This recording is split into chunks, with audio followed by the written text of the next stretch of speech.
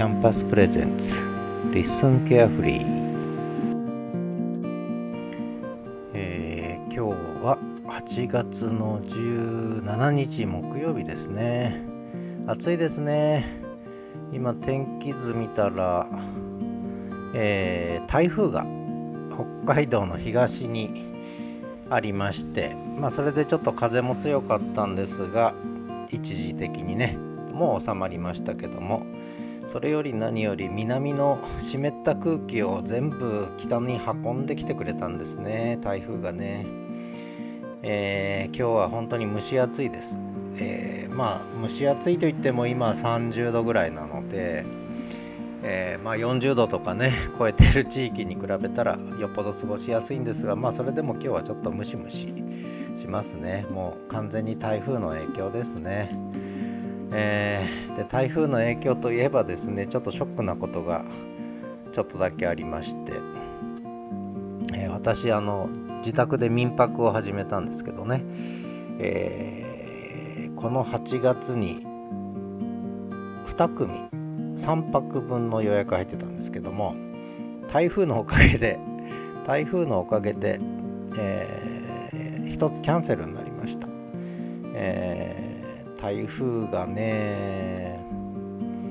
飛行機が飛ばなくなっちゃったということで、えー、それで予定が大幅に狂ってキャンセルになっちゃった。でそれだけならいいんですがそれとほぼ同じタイミングで、えー、宿泊予約の方からメールが入りまして仕事が入っちゃいましたってね。仕事が入っちゃったって、えー、いうことでまあ仕事じゃしょうがないですよね、えー、せっかくうちの北海道犬の東一郎くんに会いたくて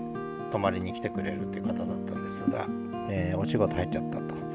いうことのようで、えー、ちょっと残念ですね。なので8月の宿泊者が消えちゃったと。ね。で一応この後まだちょっと予定がその台風で変更になった分がね、えー、ちょっとどうなるか今調整中なんですけどね。まあそんなことでちょっと台風の影響で、えー、そんなことが起きるんだっていうことも、えー、ちょっと体験しました。であと今まだねキャンセル料との設定とかしてないんですよね。まあそれほど大それたことやってるわけじゃないので、えーまあただそれもちょっと考えなきゃいけないのかなとかねそんなことも思い始めたところです、えー、あとまあこれは副産物ではあるんですけどそのまあ一組の宿泊者は私のそのまあ娘でして、えー、これがまあ飛行機が飛ばなくなったんでちょっと予定を遅らしてまた来ることになってるんですね。でそれはいいんですがでまあこっちの北海道札幌にいる時の予定をどうするかということで一つ具体的な計画が上がりまして、えー、ちょっとキャンプに行くと、ね、さっき最近キャンプづいてるんですね、えー、うちの娘はね。でキャンプに行くということで支笏湖にね、えー、キャンプに行くことになりました、えー、北海道犬の東一郎くんを連れて東一郎くんは初キャンプですね。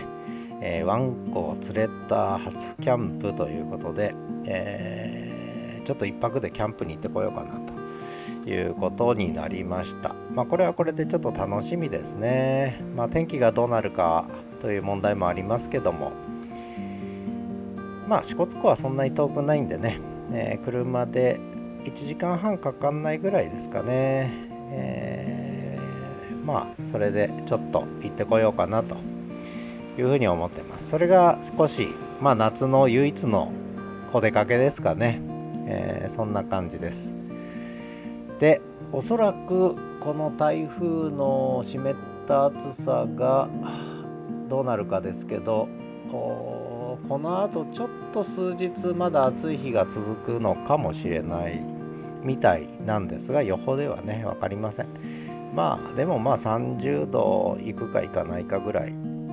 でこれが30度超えるとやっぱ暑いですね。30度切るとやっぱり涼しい感じがしますけどね。ただ今もう午後4時なんですけど4時ぐらいになるとねやっぱ涼しくなってくんですね。ちょっと涼しい風が吹くようになって。もう札幌はもう朝晩は秋の虫が鳴いてあのまあ秋らしくなってきたんですがまあ台風のせいで ちょっとね、え、ムシムシしてるということですね。であとちょっと今日風が強かったので私あのバルコニー2階にバルコニーあるんですけどそこにタープ張ってるんですね。三角形のちょっとおしゃれなタープを張ってるんですが日よけにね。これが風でブチッと切れまして今直しましたけどね、えー、そういうトラブルももう起きるということです。まあとは言ってもね北海道はほとんど年に1回台風の影響を受けるか受けないかぐらいですので、えー、まあ九州四国本州にお住まいの方に比べればね、えー、よっぽど恵まれてるんですけどね。まあその分冬はドカッと雪降りますけどね。まあそれはそれで過ごし方を考えれば、えー、特にね雪のせ雪国の生活は雪国の生活で楽しいですからね、えー、まあそんなことで夏は過ごしやすいですね。まあ私35年ぐらい名古屋住んでましたけどあの蒸し暑さ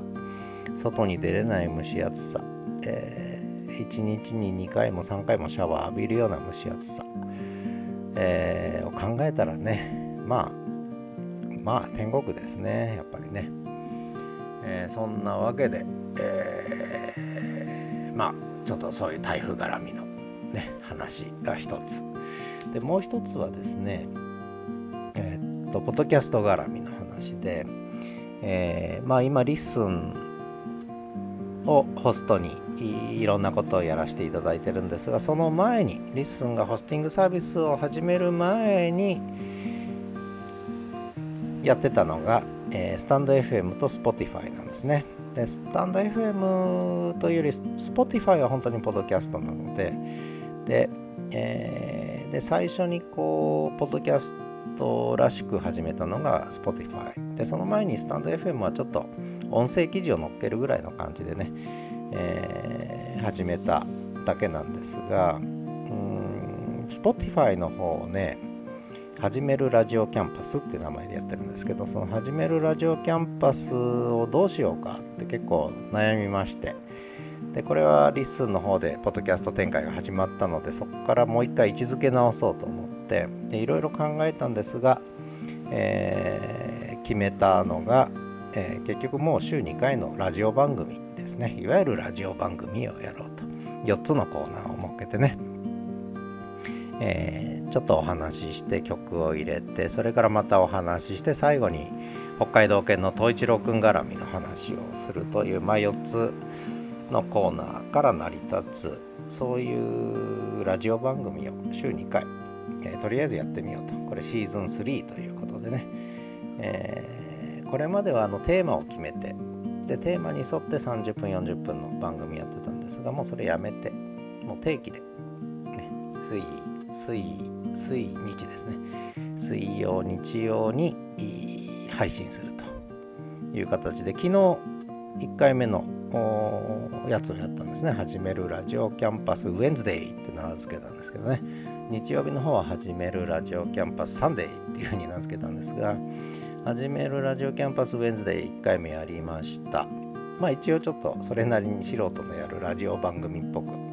えー、できたかなと思ってます。まあ Spotify はねそういうちょっとラジオ番組っぽくするには、えー、なんちゃってラジオ番組するには結構あの初心者でもやりやすいプラットフォームなので、えー、それで少し、えー、まあ遊びってわけじゃないですけども、まあ、趣味も兼ねてねそういう、まあ、トーク番組リスナー参加型のね、まあ、参加してくれるかどうか分かりませんけども、まあ、そんなのをちょっと始めて、えー、まあ、ちょっと楽しもうかなとポッドキャストらしくラジオらしくちょっと楽しもうかなっていうのが、まあ、始めるラジオキャンパスですね。でこのリスンケアフリーはあのもう本当にタラタラとね、えー、こんな話をするのがリスンケアフリーということなので、まあ、気兼ねなく聞くんじゃなくて気兼ねなく話すとおしゃべりするということで、まあ、今日はちょっと台風ネタとね、えー、ポッドキャストネタ特に Spotify の活用。でやっぱり LISTEN さんの場合は自分で音源とか全部用意して自分で収録した音声データを載っけるという形なのでそこには編集とかあと音楽流すとかいう機能はなかなかないので、えー、そういう意味ではまあね BGM とかあんまり関係なくやる分にはやりやすいんですけども逆にそのいわゆるラジオ的な楽しみというのとはやっぱちょっと違うんでそれやろうと思ったらちょっとやっぱり作り込まなきゃいけないのでで Spotify はそれがまあ気軽に手軽にできるって、まあ、そういう良さを持ってるのかなと思ってるんで、まあ、それぞれの特性を生かしてね、えー、それぞれの楽しみ方をしようかなというふうに思ってます。まあやっぱりこういうプラットフォームはそれぞれね一つのツールですので、えー、使いやすい部分使いにくい部分いろいろあって、えー、特性もあってね向いてる向いてないもあるので、まあ、その向き不向きなんかも考えながらまあそれぞれに応じた何か使い道をね、えー、ちょっと考えてやってるつもりなんですけどね、え、まあ皆さんどう思われますか？でもう一個スタンド FM の方がこれがキャンパス FM6214 って名前つけたんですがこれは要するに私のオンラインとオフラインとあとノートのオンラインサロンとねあとオフラインの民泊とか含めて他にもやってるんですがそれをこうやっぱりぐちゃぐちゃにして、えー、そこで表現するというのがスタンド FM なんですね、えー、キャンパス FM6214 ということで。でここはここでもうコンセプトがはっきりしてるのででただそこにもライブを入れたんですね。でこれはやっぱりスタンド FM がライブに対応してると。やっぱこの特性を生かさないのはもったいないってことでね、まあ、ライブ始めたんですけどこれ土曜日のダラダラライブは結構聞いてくれてるダラダライブか。聞いてくれてる人がいるみたいですね。